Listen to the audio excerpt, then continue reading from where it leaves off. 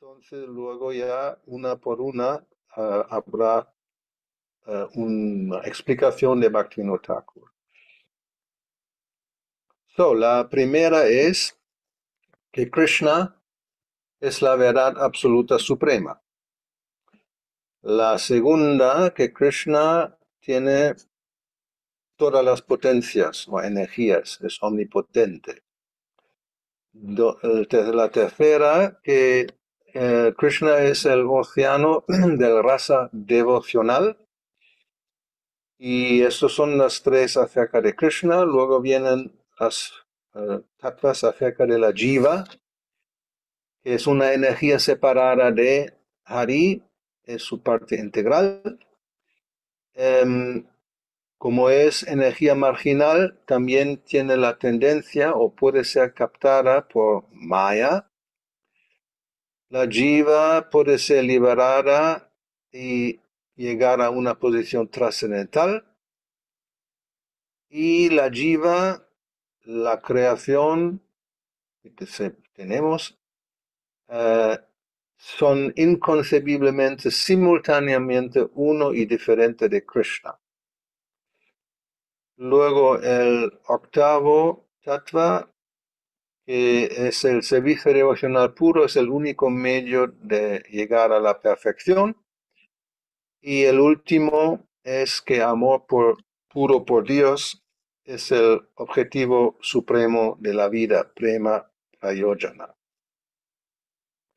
Ok, ahora vamos a ver cada una de esas verdades, ah, uno por uno. En cuanto a la primera realidad, que Krishna es la verdad absoluta suprema, eh, Amnaya dice que el Brahman supremo, el Parabrahman, Krishna, Hari, es el único Señor digno de adoración. Su concepción impersonal se llama Brahman, que no es otra cosa que su refulgencia corporal. Y en una de sus expansiones, ese Señor Supremo Hari se convierte en la superalma que controla, em, crea, mantiene, destruye los universos. Hari no es otro que Krishna, la superalma no es otra que Vishnu y su refulgencia corporal no es otra que el Brahman. Al conversar sobre la verdad acerca del omnipotente Señor Hari, se despejan todas las dudas acerca del Señor Supremo. Hasta que se despejan estas dudas, debemos cultivar el conocimiento conversando sobre el Brahman impersonal como opuesto al conocimiento material. Para comprender la superalma, la expansión del Señor, existe el proceso del Ashtanga Yoga. Solo cuando el practicante está libre de todas las dudas alcanza la devoción inquebrantable por Krishna. So, eso es el primer tattva, que Krishna es la verdad absoluta suprema. A ver, comentarios o preguntas acerca de este primer amnaya, la primera realidad. Y parece que si no hay, pues seguimos con la segunda. La segunda realidad, según el Amnaya, conocimiento védico, se considera de la siguiente manera. El Señor Supremo, Hari, posee naturalmente potencias inconcebibles en plenitud. A través de una de sus potencias se manifiesta como Brahman no dual. Esta es su potencia impersonal. A través de sus potencias ilimitadas, incluyendo el Brahman y el Paramatma, manifiesta su supremacía como la suprema personalidad de Dios. Aunque las potencias impersonales y personales están ambas contenidas en él, aún así las potencias personales son predominantes, como se afirma en el Shvetashvatara Upanishad. Parasya Shaktir Vividhaya Shruyate Sabhaviki Jnana Bala Kriya Cha. El Señor Supremo tiene múltiples potencias, las cuales actúan tan perfectamente que toda conciencia, fuerza y actividad están siendo dirigidas simplemente por su voluntad. Los devotos puros conocen las potencias espirituales Sandini, Samvit y Ladini, que son las potencias del Señor de la existencia eterna, la cognición y la bienaventuranza. Ok. Esto es esto. Pues si no hay manita, voy a seguir.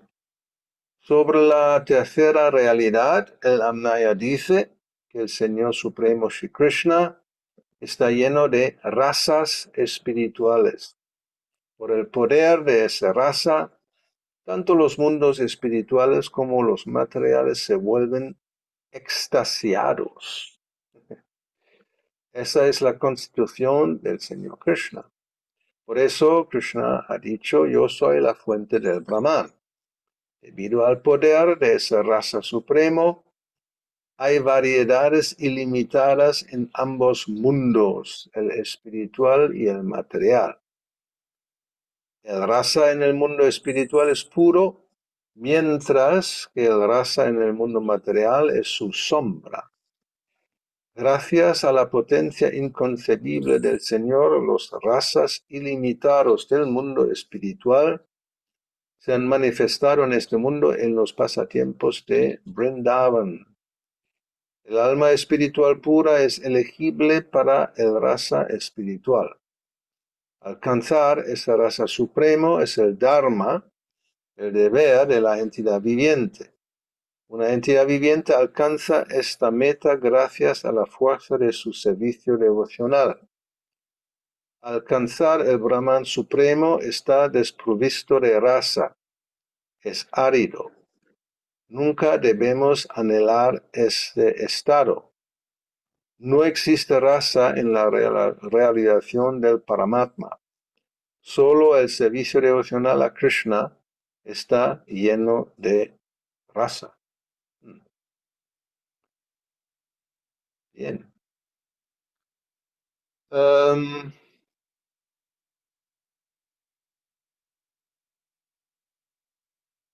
a ver.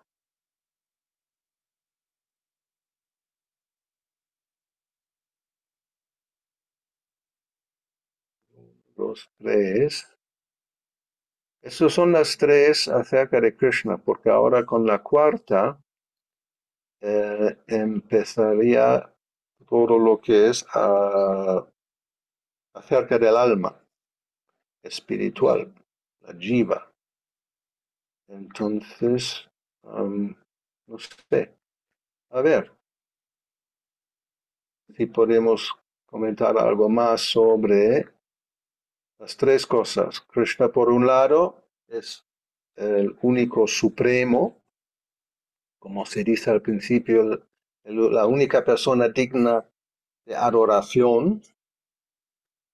Em, y como aquí y más adelante vemos, siempre se hace este énfasis que aunque hay tres aspectos, el Brahman em, es simplemente una refugencia, es una energía, pero no es algo que eh, por lo menos los devotos aspiran a llegar,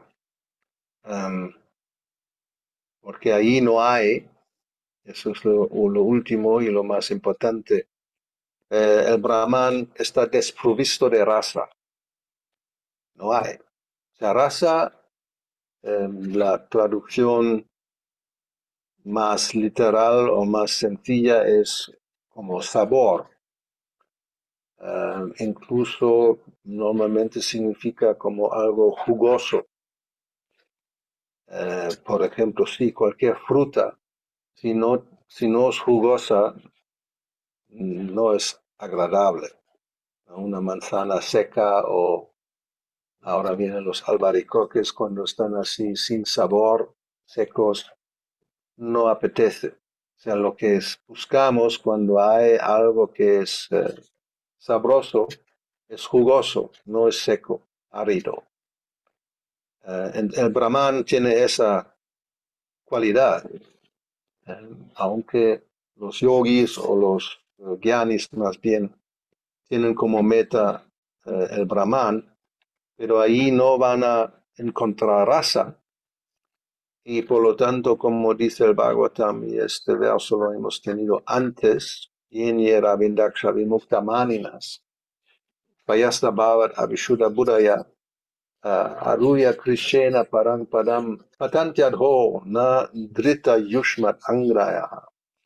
Eh, quiere decir que se imaginan que están liberadas, Vimukta Maninas, pero en realidad Abhishuddha Buddhaya la inteligencia, la conciencia está todavía contaminada.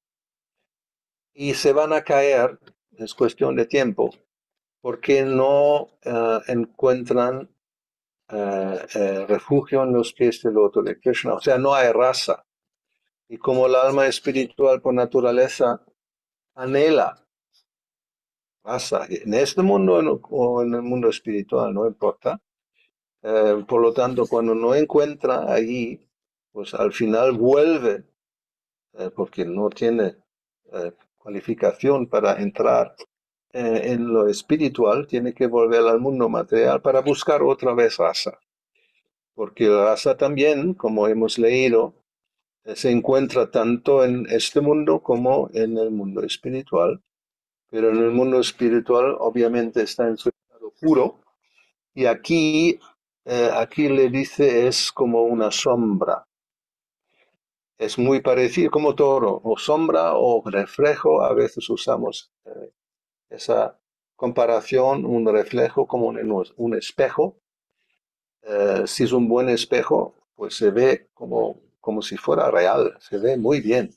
Pero en cierto modo eh, es como toro al revés, lo que es la derecha en el espejo es la izquierda. Entonces, el raza que se encuentra en este mundo, sí, es parecido. Eh, básicamente son las cinco, tipos de relaciones eh, que, se que tenemos, ya sea pasiva, ah, como sirviente, amigo, ah, pariente, padre, madre ah, o amante. Eh, esto se encuentra en este mundo y lo puro, la, la realidad pura está en el mundo espiritual. Pero si no hay raza, entonces la, entidad viviente no encuentra satisfacción. Y por lo tanto, siempre se eh, repite que el Brahman no es algo como deseable o nunca de, como eh, aquí pone, nunca debemos anhelar ese estado de llegar al Brahman.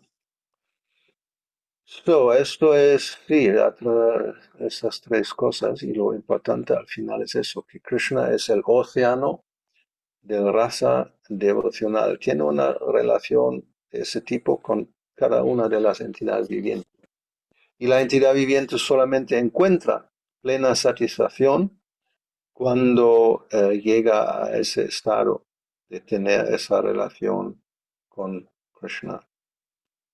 Um, Tampoco en el Paramatma, como aquí pone, no existe raza en la, realización del Paramatma, porque también es o sea, pasiva, eh, es una contemplación básicamente, no hay actividad, no hay servicio emocional.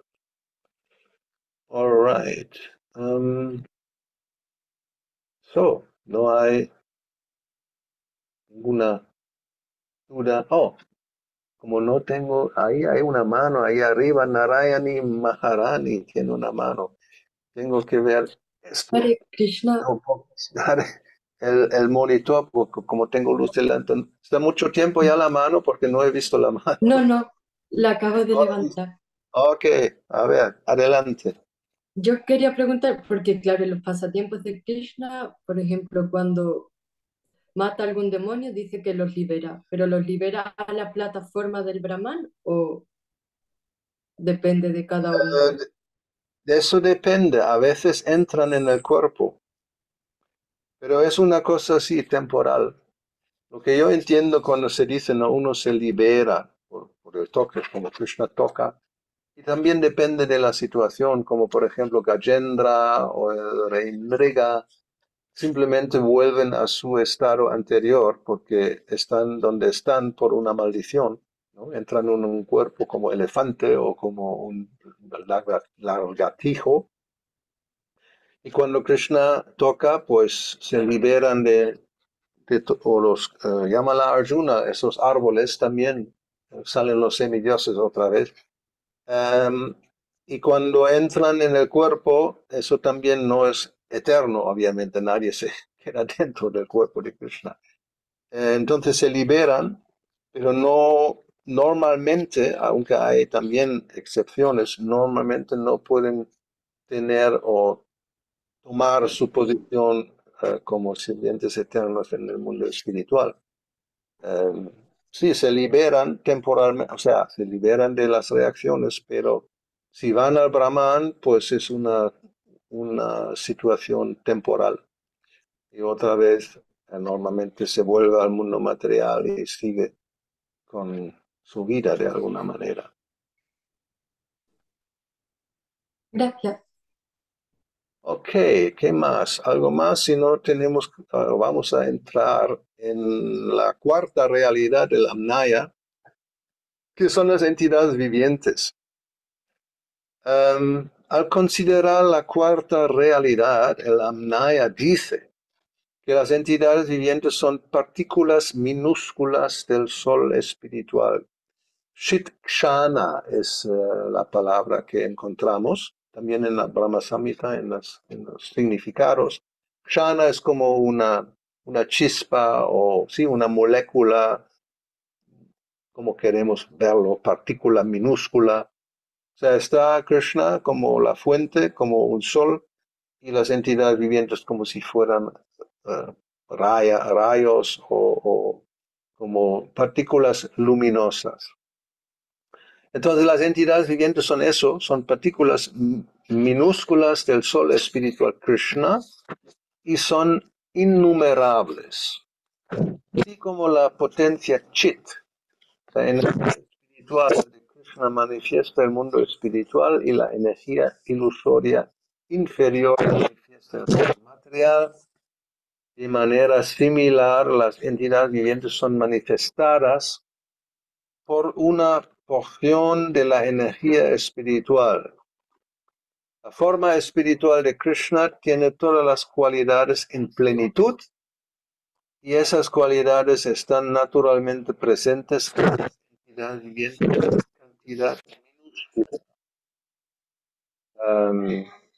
en otra parte hemos escuchado que las entidades vivientes pueden tener, creo que es un 78%, ¿verdad? las cualidades de Krishna, algo así. Luego los semidioses, depende qué tipo de semidios, tienen las mismas cualidades, pero en uh, más cantidad, podemos decir. Y luego ya, uh, como Shiva, uh, creo que son 84%, algo así. Y luego Narayan es el 96%, porque hay cuatro cualidades que solamente tiene Krishna, y no tiene nadie más. Um, ok, ahí veo una mano ahora sí, la Dini. A ver. Hare Krishna, Gurudev.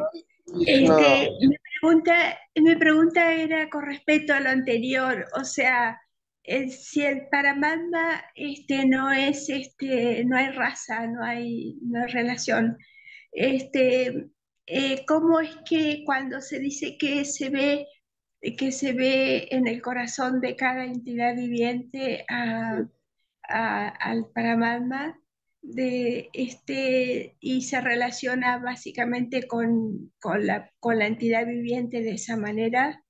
Este, no hay raza, o sea, no entiendo mucho eso. A ver, um, el Paramatma ¿Cómo se traduce? Pues por, por un lado es super alma. También um, en inglés está la palabra oversoul. Es como el alma que, que, que, que, ve todo, porque está en todas partes, está en todas las, todos los corazones, está en el átomo.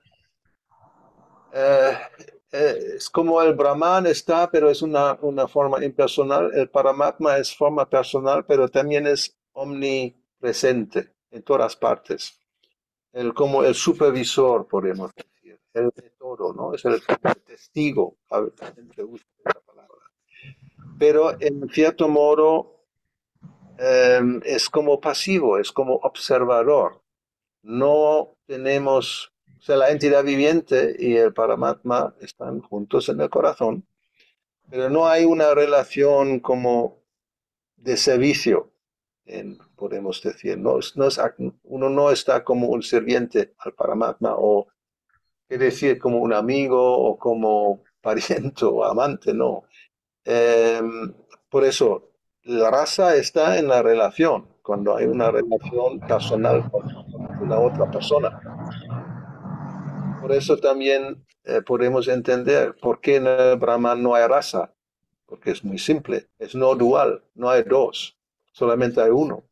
Y uno, uno solo, también una persona que está sola, ¿no? Sola, vive sola. Pues no, no eh, experimenta raza.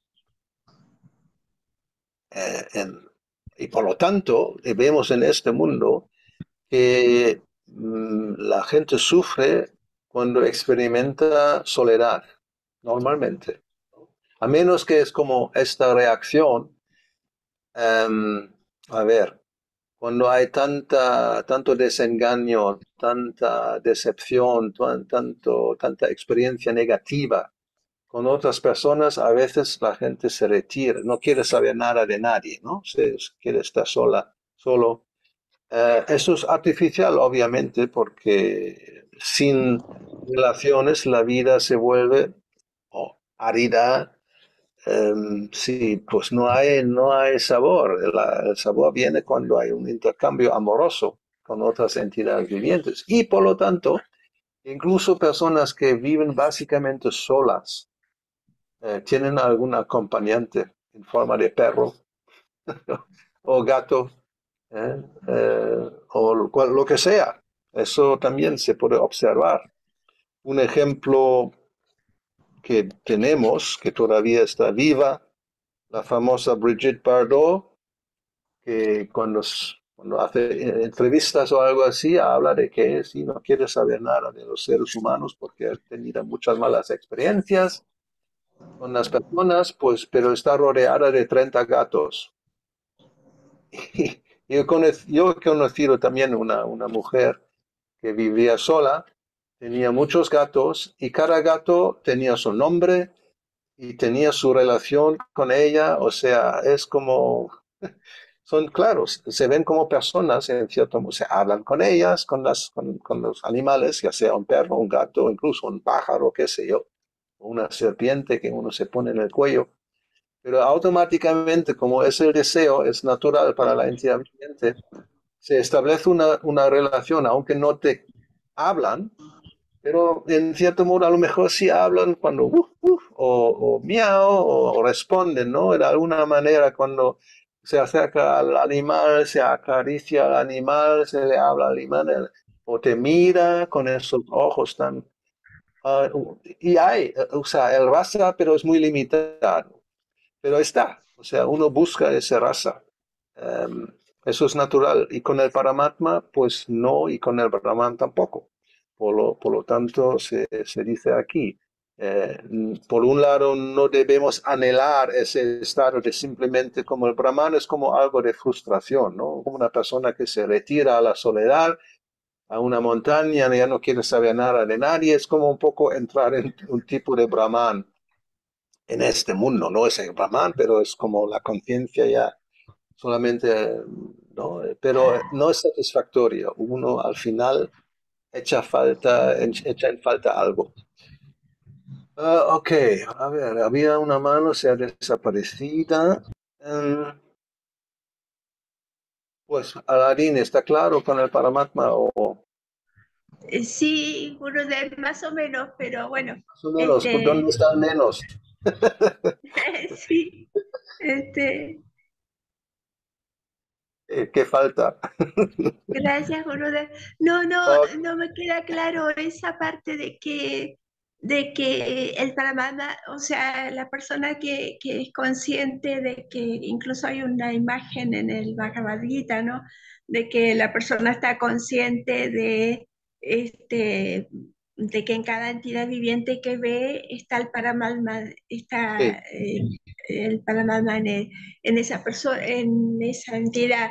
Y entonces, este, si la persona es consciente de eso, ¿no hay raza con, con las personas con las cuales se relaciona?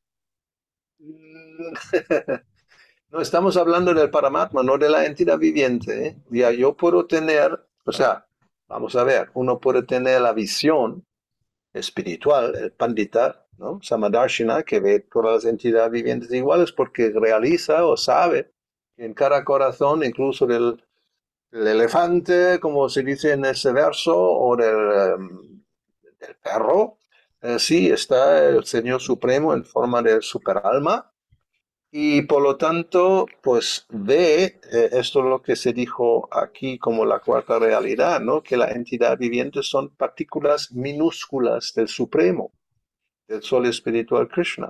O sea, en ese sentido hay una bueno, primero es, es una realización, pero cuando hablamos de raza, es un intercambio entre dos personas finalmente, porque cada entidad viviente es una persona, aunque se encuentre en un, un cuerpo de árbol y no puede manifestar ser una persona porque la conciencia está cubierta.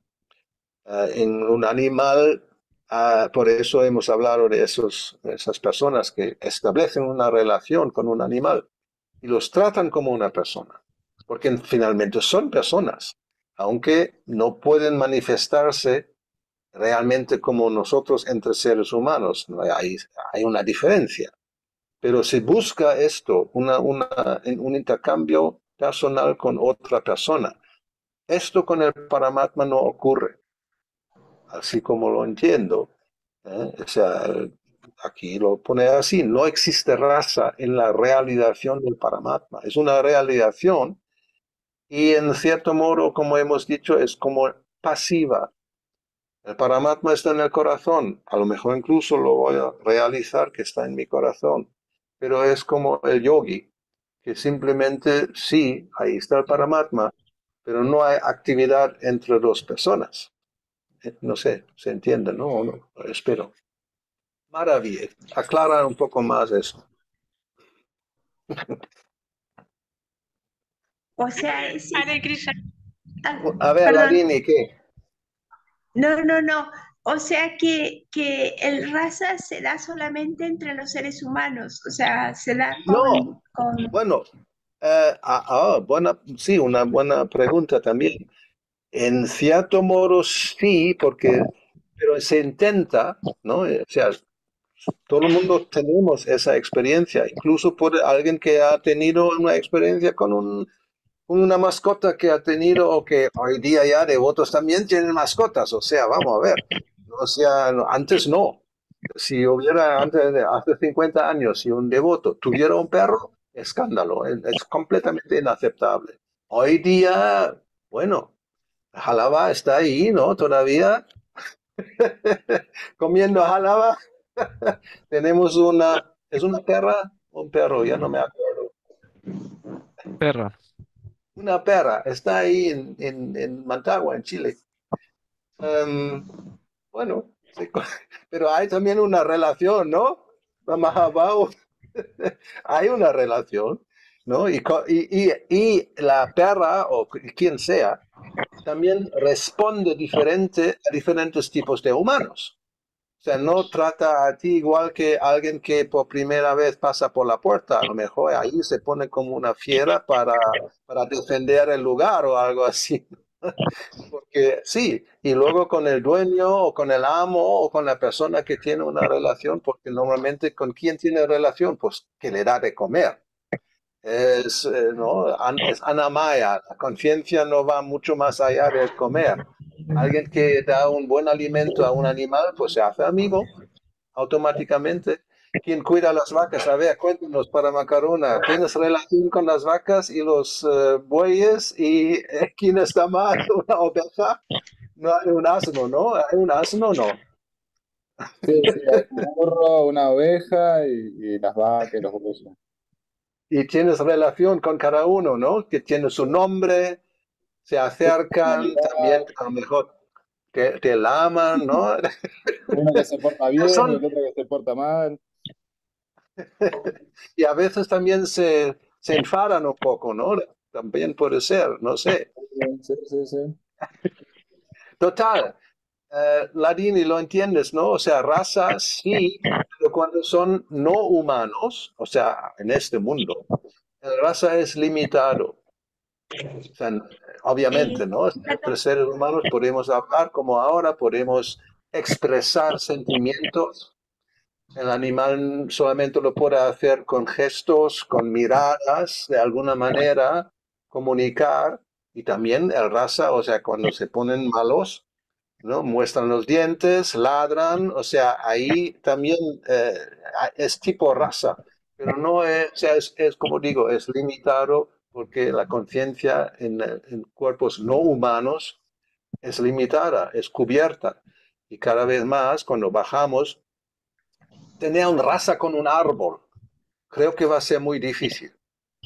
Eh, Gurudev, pero este sería raza entre seres humanos, pero este tiene que ser plano de igualdad, entonces, para que ¿Cómo? sea raza. Tiene que ser plano de igualdad para que sea raza. Ah, sí, en cierto modo sí, ¿no? Claro. Porque si es como, como digo, con un animal hay algo, pero no es tan completo.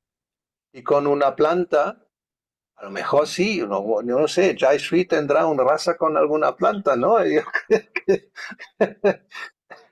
Eh, pero también es, o sea, del- de la parte de la planta es bastante limitado. A lo mejor puede corresponder porque, como se dice, algunos tienen un, un pulgar verde, ¿no? Cuando tratan con las plantas, las plantas responden y florecen y son muy contentas y en otra persona intenta cuidar una planta, pues la planta se muere porque, porque no hay...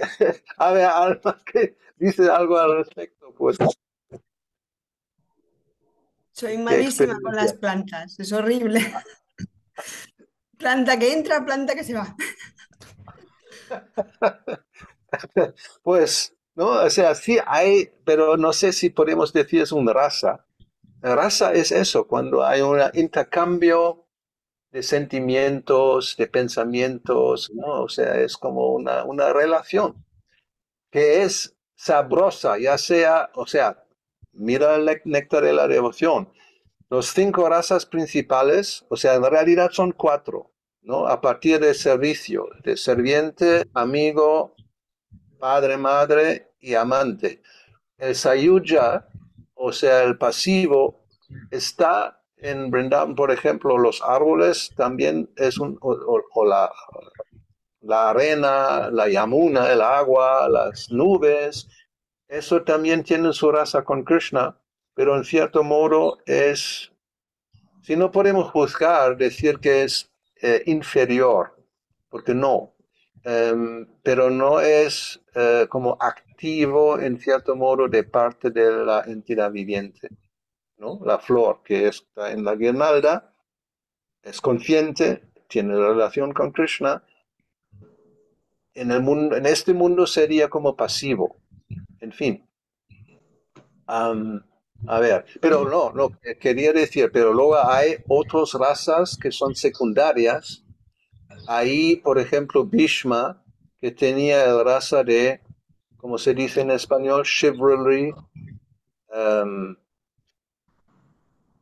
como de, de, de, de pelear, ¿no? O sea, él se acerca con, con flechas de pelea con Krishna. Y Krishna también disfruta de eso, o sea, una relación que aparentemente puede ser como de enfrentamiento, pero no es exactamente como en el mundo material. O sea, las razas, em, sí, o sea, hay que entenderlo así, son las relaciones que pueden ser de diferentes tipos, Y como Krishna es el océano de razas, quiere decir que todo tipo de raza entra allí. Em, y aparentemente puede ser algo como en este mundo es como negativo, pero no, en el mundo espiritual no es negativo. Es como la separación, em, en la, ¿cómo se dice? A ver, em, la palabra. eh, eh, cuando uno se horroriza, o- o el temor, em, incluso lo que se llama mrityu, que se traduce como muerte. No, obviamente nadie se muere, pero es como un sentimiento, como uno se está muriendo en relación con Krishna. Y esto no es como aquí, cuando uno se, casi se siente como morir en este mundo, es muy doloroso, es mucho sufrimiento. En el mundo espiritual es también bienaventuranza, algo que quizás no podemos entender, pero es también un rasa. O sea, eh, el rasa es como, un, buen ejemplo es la comida. Y hay todo tipo de sabores. Está lo salado, está lo picante, está lo amargo, lo dulce, em, y hay más. Eh, ¿Cómo se dice? Eh, no, ah, agrio, o, eh, en fin, hay, ¿no? El, como el tamarindo es otro tipo de sabor. Mm, Y, y cuando hay una comida completa, o sea, lo realmente lo, entonces ti- tiene todo tipo de sabores. Porque solamente si todo es solamente dulce, sí, pero no. Después de un tiempo uno quiere algo diferente. Si todo es salado, no, tampoco. O sea, variety, ¿no? Va- variedad es la, la especia de la vida. Y Krishna es eso, es eh, rasa vigraha, es como, ¿no? El, el, ¿cómo se dice? La embodiment, eh, la personificación de raza, el océano de raza, y hay todo tipo, desde lo amargo, lo salado, lo dulce, lo eso, lo otro, cualquier cosa. Em, pues sí. Entonces, entre en este mundo entre personas, el raza es más completo en comparación cuando es con un animal, por ejemplo, o una planta, qué sé yo. Con un insecto no sé si puede tener es muy difícil. A lo mejor Maravi quiere decir que sí, con las abejas también tiene un raza, no sé. Ella tenía en la mano, Maravi, con las abejas. ¿Hay raza? Hare Krishna Gurudev, reverendo. Bueno, no sé si, si ra- como, como yo lo en- entiendo, pero sí hay una... No, no, no. Más bien con la actividad hay un raza. No sé si con ellas. Ya. No, no creo. Por eso digo, me parece muy difícil. Porque no responden, ¿no? Que incluso un perro, uno puede imaginar que sí, hay un tipo de, algo de relación hay. Con un insecto, ya sea abeja o lo que sea, más complicado. O con una planta. Pues qué, qué maravilla, ¿qué querías decir? Yo, yo tengo una pregunta, pero de, hace rato, nomás que se salió, volvió a entrar, y era sobre la, la primer parte, cuando Ajá. hablaba de Krishna, y decía que Krishna es la verdad absoluta, y lo, lo definía como que era el, el supremo en, en personalidad para glorificar. Entonces yo me he preguntado, ¿por qué directamente no se lo califica como la suprema personalidad de Dios? ¿Y por qué se usa la palabra verdad? Porque también podríamos decir, Krishna es el engañador supremo. No, pero tattva es una de esas palabras que es como raza, como raza tattva, que para encontrar una buena traducción eh, no es nada fácil, es difícil. Em, a veces tattva simplemente se pone verdad, se pone principio, se pone, no sé, es como una realidad. También esta palabra hemos visto, creo. ¿no? O sea, una, un- algo que existe que es, em, a ver, hay que sentir lo que significa. Un tattva es un, algo que es como, no sé, que no se cambia, ¿no? Que la jiva es una parte integral de Krishna, es un tattva. Esto es una, una, una verdad o una realidad eterna en ese sentido. No es, no es verdad o engaño. O sea, es, sí, enga- no es engaño en el sentido que no es una ilusión. Em, ¿no? O sea, tattva mula, dasha mu- mula tattva. Por ejemplo, que Krishna es omnipotente. O sea, Parasya Shakti Vividaya Shruyate, tiene todas las potencias. Es una, pues una realidad que no cambia. O sea, es como, ¿no? Em, a ver, ¿lo entendemos? ¿Está claro o no? La palabra tattva es como um, Jiva Swarup. Swarup es la, la forma original o constitucional, eso es otra palabra que puede acercarnos al, al lo que significa tattva. Es por constitución, es como el tattva eh, del agua es que es líquida. Es, es, así, o sea, si hay, o, o, o Prabhupada también da el ejemplo eh, que también tiene que ver con Dharma, ¿no? Como la, la cualidad intrínseca de algo. El azúcar, por naturaleza, es su tattva, es dulce. Si hay un azúcar amargo, pues no es azúcar, es otra cosa. Así. O sea, es una de las explicaciones. Eh, y cuando el agua no es líquida, porque se puede convertir en hielo, ¿verdad? Eso, Sí. eh, entonces, es una, ¿cómo se dice? Una, sí, un tipo de cambio, una alteración del estado natural por un agente externo, que en ese caso es el frío. La entidad viviente por naturaleza es parte de Krishna, su sirviente eterno, etcétera, etcétera. Y puede, esto puede por influencia externa, por la influencia de la ilusión de Maya, puede cambiar a un alma condicionada, que se olvida por completo quién es, cuál es su función, cuál es su naturaleza, se cree que yo soy chino o español o lo que sea, argentino, bueno, vamos a olvidar a nadie, ruso, por supuesto, entonces, y chilenos, claro, claro, hay, hay que ahora ya tengo que mirar, a ver, no olvidar a nadie, uruguaya, no, no, que no olvidar a nadie, pero esos son falsos. O sea, no somos eso. Eso es el punto. El ajiva, el- no, hoy puede ser esto, mañana aquello en el mundo material. Eso, es- eso no es tattva. Eso no está. El tattva es que Jari- eh, Jiva Swarupa Nitya Krishna Das. Es sirviente de Krishna. No importa en qué universo aparece, en qué país va a nacer, qué tipo de cuerpo tiene. Esos son todos agentes externos que no son el tattva. No sé, ¿está más claro, Maravi, qué es el tattva? Sí. No Sí, tiene ahora nada que ver sí. con Krishna puede ser engañador, eso es su tattva también.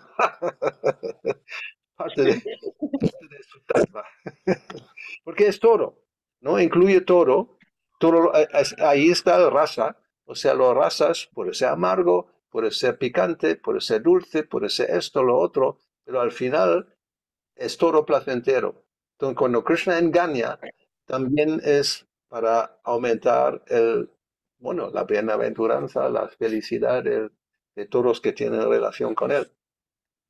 Él como no hay una, esto Chorashtaka, eh, es todo sobre como Krishna como ladrón. Y Prabhupada lo pone muy claro. En este mundo un ladrón, pues no, es un criminal y nadie quiere tener un ladrón cerca que le, que le quita las cosas. Pero cuando Krishna eh, es ladrón con las gopis, quitándoles el yogur o la mantequilla, ¿no? El, el Mahan Chor, ¿no? Chor en bengali es eh, el ladrón. Y Mahan es eh, mantequilla, pues el, el butter thief, ¿no? El ladrón de la mantequilla, pues es causa de bienaventuranza. Todo el mundo quiere que venga a mi casa a robar, a ver. En este mundo no, ¿no? Que, que no venga el ladrón, porque no me voy a quitar mis pertenencias. Bueno, em, a ver, alma bendita. Hare Krishna. Eh, de esto que hablábamos de respecto al Puedes rasa, acercarte al micrófono, no te oigo bien. ¿ahora me oye? Sí, ¿Mejor? Sí. Vale. Que res- era respecto al rasa, porque esa visión que, o sea, él dice que en el Paramatma no hay rasa, puede ser porque sea que esas personas que se fijan en el Paramatma y tienen la visión de todos somos uno, su meta es quedarse en el Brahman impersonal, ¿no? Entonces entiendo que hay Em, un cambio. sí, o sea, esto es también un tema complicado, porque el Paramatma es ya un aspecto parcialmente personal. Es personal, pero como está en todas partes, es como intermedio, ¿no? Entre Brahman y Bhagavan. eh, no es impersonal, tampoco es completamente personal, por eso no hay raza. O sea, es un poco, no sé, hay que, ver cómo explicarlo. Sí, es como, está en todas, es omnipresente, es como el sol que se refleja en muchos diferentes, em, como vasijas, ¿no? Con agua. Eh, pero no es como el Brahman. El Brahman es eh, realmente no dual. O sea, no hay, solamente hay un Brahman, no hay, no hay dos Brahmans. Paramatma está en este corazón, en aquel corazón, y está presente y controla todo. O sea, es activo. El Brahman no es activo. El Brahman simplemente es refulgencia y es como existencia. Um, es como Sat, ¿no? Chit, Ananda. Sat corresponde al Brahman, Chit ya al Paramatma y Ananda a Bhagavan. O sea, el yogi que contempla el Paramatma, eh, sí, por- también hay diferentes explicaciones. A veces tienen esa meta de fundirse. Por eso no, es como ahí eh, que era la serpiente, ¿no? Sí, sí, la serpiente devoradora, devo- devoradora, que cuando uno se, se, eh, mete con el eh, yoga místico, eh, entonces em, el paramatma y puede que uno se siente como si uno quiere fundirse de alguna manera con el paramatma. Em, sí, de, de- en este- de esa manera sí, se puede entender así. Por eso, no, o sea, él, él dice así claramente, ¿no? No debemos anhelar o intentar de, de llegar ni al Brahman ni al Paramatma. Pero también aquí se pone, hasta que se despejen las dudas, debemos cultivar el conocimiento conversando sobre el Brahman impersonal como opuesto al conocimiento material. Eso es interesante porque, o sea, en un sentido, cuando uno entiende que está el Brahman, eso ya es un paso en realidad adelante de ser simplemente materialista y todo es materia, y uno ahí reconoce que hay algo espiritual. ¿eh? Es como el primer paso. Y luego ya uno puede llegar al Paramatma y al final a Bhagavan. Em, en ese sentido, pone aquí que para, para entender que sí hay algo espiritual, incluso puede ser beneficioso conversar acerca del Brahman impersonal, como algo diferente de simplemente la materia. ¿no? O sea, hoy día ni Brahman, ni Paramatma, ni nada, simplemente la materia es lo que hay y no hay nada más. All right, un par de minutos más, Ladini. Gurudev, cuando se dice que la persona puede realizar en vida un cuerpo espiritual, ¿no? Y que, y que eso tiene que ver con, con el Paramatma, o sea, con Hari, que, que de algún modo la persona realiza eh, esa, ese, ese estado o algo así. Este, eh, y eso implica que que no, tampoco tiene raza, pero porque si realiza su cuerpo espiritual, va a tener raza con, con todos los, con todas las, personas que, o con, o con Krishna. No sé si lo he entendido bien. Intenta formularlo de otra manera. O sea, tú hablas No, que cuando, cuando alguien realiza su cuerpo espiritual, ¿qué pasa? sí. Bueno, eh, es lo que no sé qué pasa. No sé Eh, qué pasa, pero no, no, no, no. Bueno, vale, ok. Eh, O sea, primero, esto es como, eso se llama Siddha Swarup, ¿no? Swarup es como la propia forma y Siddha significa perfección, o sea, uno sabe. Lo que quiere normalmente, lo que eh, quiere eh, decir, que uno sabe o realiza, entiende, sí, realiza más bien es la palabra, cuál es mi relación con Krishna ya sea como amigo, como amante, como padre, madre, como vaca, como qué sé yo, cualquier tipo de cuerpo espiritual en ese sentido en la relación con Krishna. Mientras uno se encuentra en el mundo material, eso es algo interno, ¿no? O sea, esto se, es- estas cosas son, creo que podemos decir para nosotros, ni, o sea, está un poco lejos, ¿no? O sea, no es que algo que nos tiene que preocupar de momento. Pero hay descripciones, especialmente en el Jaiva Dharma, em, donde eh, el devoto o el practicante eh, realiza quién es, eh, su, su forma espiritual, Siddha Swarup, y luego hay unas prácticas como el Ashtakaliya Smarana, em, meditar, o sea, en realidad internamente uno ofrece servicio a Krishna a nivel espiritual. Pero eso no se puede hacer artificialmente porque eso también hemos ya tenido experiencia. Hay personas, especialmente en la India, en Rarakunda, que te ofrecen revelarte tu forma espiritual, y etcétera, etcétera. Y tanto Srila Bhaktisiddhanta Saraswati como Prabhupada nos advirtieron, ¿no? cuidado con, pero ah, siempre hubo algunos devotos que se acercaron y luego se imaginaron quién eran y empezaron eh, a practicar el Ashtakaliya Smarana, pero como es todo artificial, no dura mucho tiempo, al final normalmente vuelven a actividades materiales bastante corrientes. Pero se trata de eso, o sea, el cuerpo espiritual significa algo interno, eh, sí se realiza, y luego hay unas prácticas que se pueden hacer, pero creo que no es algo que tiene que preocuparnos a nosotros de momento. Todavía tenemos problemas bastante más mundanas. no, ¿quién soy yo ¿no? en el mundo espiritual? Normalmente la idea es que esto se revelará cuando se purifica el corazón. Y si no es en esta vida, pues en la siguiente. All right. Um, aquí ya son las 3 de la tarde y hemos llegado al final del trayecto. Uh, entonces, sí, la próxima vez vamos a continuar con las entidades vivientes. Con las, con la, otra vez vamos a empezar ahí de nuevo la cuarta realidad, o sea, cuarta raza Dashamula, las entidades vivientes como partículas minúsculas del sol espiritual Krishna.